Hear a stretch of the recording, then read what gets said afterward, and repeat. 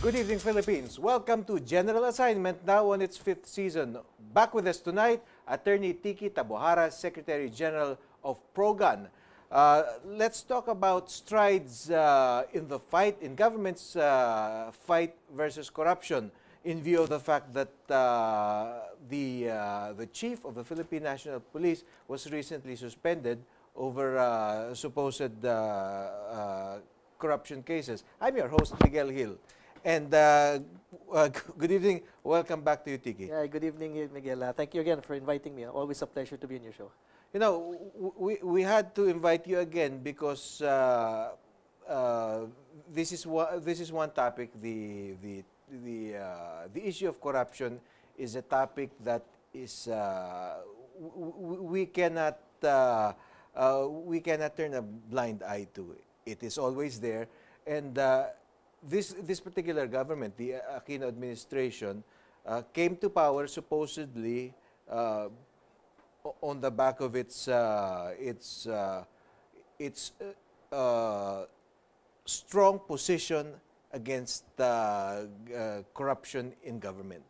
So, good governance was its slogan, no? daang matuwid, or the, the straight path. Now, uh, we have seen, of course, that uh, uh, it has, uh, it has uh, won, uh, not yet won, but uh, it has gone all out in the fight uh, against uh, certain corrupt officials who happen to be in the opposition. And thi- this, of course, uh, raises some question marks. But now, a very close administration official, one who is supposedly in the inner circle, finds himself uh, under fire uh, the chief of the Philippine National Police, Alan Purisima. And uh, we also understand that you are among the attorneys, you and your group uh, were the ones or who continue to spearhead the, the uh, fight to have him uh, what removed from office. So this is, I think, your first partial victory. Tama ba yan? Partial victory. Well, uh, just just to clarify, no, uh, we, we were not the ones who filed the plunder case against him. It was another individual, no. So there are Uh, several groups. Correct. There are currently four uh, plunder cases filed against the chief PNP in the ombudsman. Apat. Uh, and uh, one of them was the one filed earlier this year, which we believe was the subject of this preventive suspension that was imposed now. Mhm. Uh, on our part, we are interested in these cases, though, because our case is related to these cases, because uh, our case is in the Supreme Court, which deals with firearms. Ah, re- re- refresh our memory. Ah, ano yung kasong sinampan nyo? And ah, paano ito naiba dito sa ah, sa mga iba pang kaso? Well, last uh, March of this year, no, we filed a petition in the Supreme Court uh, requesting for a temporary restraining order uh, against the, the restrictive firearms policies no, dun sa PNP. And uh, the implementor or the person who issued those those uh, policies was the Chief PNP, General Alan Purisima. So we were questioning the policies. Now, along this this line, no, uh, one of the issues that we were raising in the Supreme Court was the Wear Fast uh, courier service, which we alleged or which was alleged to be overpriced. No? So, nagkaroon ng issue of corruption. But uh, some other groups took up on this issue no? and uh, filed behind us after our case was filed in the Supreme Court, plunder cases against the chief PNP based on this allegation of overpricing of the Wear Fast courier service which was being implemented by General Purisima for delivery of firearms licenses to licensed gun owners. Okay.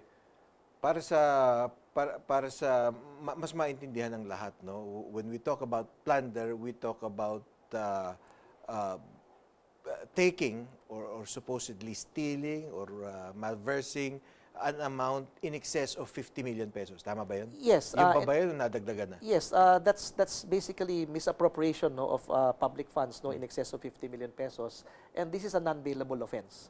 No, ibig sabihin nito walang piyansa no. So once you are charged with plunder na i-file to sa Sandigan Bayan, you are automatically suspended from office and makukulong ka walang piyansa.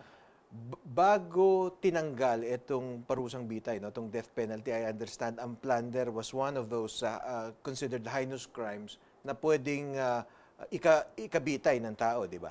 Yes, Okay. uh, but So, uh, so serious in other words. it's Mabigat. serious and uh, mabigat kasi life imprisonment ito eh.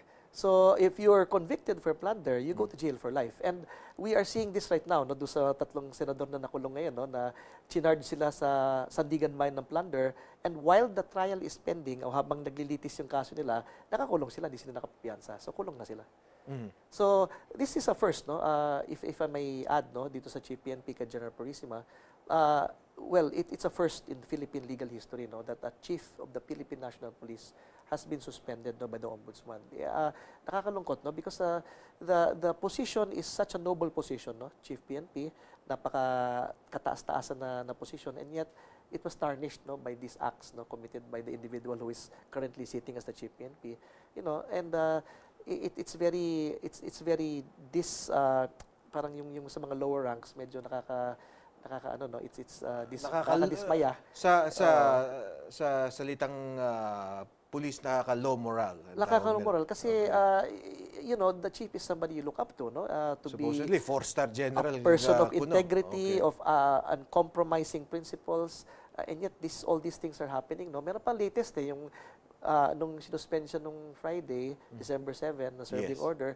May nung Monday, may nag-file na naman ng plunder ulit sa kanya, falsification doon sa Batangas property naman. Mhm. So it's another a new case again, no? So dumadami ang mga kaso and nakakalungkot, no, yung mga ganitong pangyayari. Okay, le- let's take a look at the historical background. No? The the Philippine National Police Law was uh, was enacted or took effect in 1990. No, so now it's uh, how many years uh, old? It's Na- na- 24. It was amended in 1997, I believe. Aha. Uh, pero ito ang kauna-unahang kaso ng isang uh, uh, police chief or uh, chief of the PNP na, uh, na nakasuhan ng ganito. Even before the PNP, the Philippine Constabulary, and uh, uh, for a certain period, the Philippine Constabulary had under its uh, wing the Integrated National Police, no, which was more or less the uh, the almost PNP na yan, no, yung na, na develop. Wala pa rin ako narinig na uh, inabot ng ganyang kaso. Al- Although, if you recall, during the Aquino Galman double murder case, itong si Chief of Staff General Fabian Ver, Mhm. ah, nung, Pero chief nakas- of staff, eh, nung nakasuhan AFP. siya, AFP, he was the Chief of Staff of the AFP at the time, nung nakasuhan siya ng Sandigan Bayan, Mhm. natanggal din siya na preventive suspension din siya noon eh, during the pendency of the trial. Mhm. So, that I, I believe that was a precedent Y- yun for ang legal precedent what na- is okay, going on okay. right now. No? Pero sa police, wala pa. This is the first time. Mhm. Uh, although post ano no after their their terms no three of them are now charged no yung mga pr- previous chief PNP uh, si General Rason I think is now in custody sa PNP Custodial Center for plundering yata and then uh, I think General Versosa is also charged for the helicopter deal no, with the first gentleman so may dalawa nang nauna sa kanya na who are now currently being tried in the Sandigan Bayan for for these charges no Mhm. itong mga grappling corruption Ikaw, bi- you are an officer of the Integrated Bar of the Philippines. No? You're, uh, you're uh, uh, very active in the legal circles. In fact, itong, itong mga advocacy mo, yung, sa, yung mga anti-crime uh, uh, NGO, itong, itong ProGun and some other uh, groups that you've uh, that you are a member or an officer in. Uh, me- medyo malawak yung uh, yung yung uh, exposure sa ganyang bagay. Ano sa tingin mo ang rason kung bakit itong mga posisyon na ganito, itong mga ah, ah, mga uniform position na to, particular eh, pa- pag ina- inabot mo na yung ah, tugatog ng tagumpay as far as your career is concerned, ah, b- bakit ba, bakit ah, na- napakalakas nung ah, ne- nung ah, tempt- mga Tukso. temptation, yung mga tukso sa ganito? A- alam naman alam naman natin na nakatutok na media with the electronic media mahirap ng mahirap ng itago itong mga ganito mga bagay di ba Uh, well, uh, yun nga, no? It's, it's so sad, no? That uh, these things are happening. Kasi paulit-ulit na ito, eh. No? The Mhm. past three terms Aha. no, of the chief PNP. Ganito na, no? Kasunod-sunod na, puro may mga kaso. And, you know, it, it- seems that people never seem to learn their lesson, no? Na public service is really supposed to be a public trust, no? Mhm. But uh, it would seem that uh, it seems to be going out of control, no? Dito sa agency ng PNP, which is really supposed to be a very noble institution, no? Mhm. police, no? Very noble.